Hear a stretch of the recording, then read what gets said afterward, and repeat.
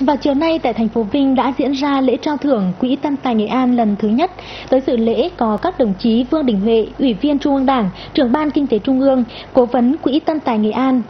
Nguyễn Thế Trung, Ủy viên Trung ương Đảng, Phó trưởng Ban Thường trực Ban Dân vận Trung ương, lãnh đạo một số bộ ban ngành Trung ương, các đồng chí Ủy viên Ban Thường vụ tỉnh ủy, Phó Chủ tịch Ủy ban Nhân dân tỉnh. Quỹ Tâm Tài Nghệ An được thành lập ngày 20 tháng 11 năm 2012 bởi những người con xa quê luôn hướng về quê hương ở khắp ba miền của Tổ quốc. Là một quỹ xã hội tự nguyện và hoạt động phi lợi nhuận. Quỹ ra đời với mục đích khuyến khích, động viên kịp thời đối với các tổ chức cá nhân ở trong và ngoài nước có công đóng góp xây dựng phát triển quê hương Nghệ An và người Nghệ An đang học tập công tác trên quê hương, đạt thành tích đặc biệt xuất sắc trên tất cả các lĩnh vực thể dục thể thao, văn hóa văn nghệ, giáo dục và khoa học công nghệ thông tin.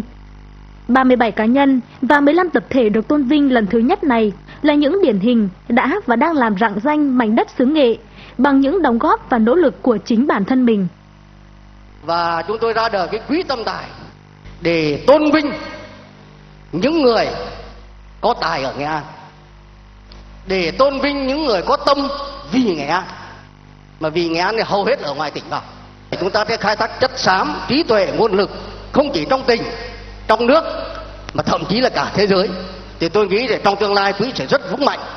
Và đó là cái nguồn lực vô tận để chúng ta khuyến khích động viên nhân tài của nghệ an, khuyến khích động viên những người có tâm với nghệ an và làm cho nghệ an chúng ta đi lên nhanh hơn, bền vững hơn. Ấn tượng và để lại cảm xúc sâu sắc trong lễ trao thưởng lần thứ nhất này là sự tôn vinh dành cho ba cá nhân đặc biệt, trong đó có chị Nguyễn Thị Thảo Vân, một người khuyết tật bẩm sinh nhưng với nghị lực và cố gắng từ cuộc sống. Chị đã giành giải thưởng Tài năng nghị lực Việt Nam do Chủ tịch nước trao tặng. Giải thưởng Tình nguyện Quốc gia năm 2013 do Trung ương Đoàn trao tặng và Giải thưởng Tình nguyện Chim Én năm 2013. Điều đáng nói là hiện nay chị đang là chỗ dựa, là tấm gương của hàng chục em nhỏ khuyết tật trong và ngoài tỉnh.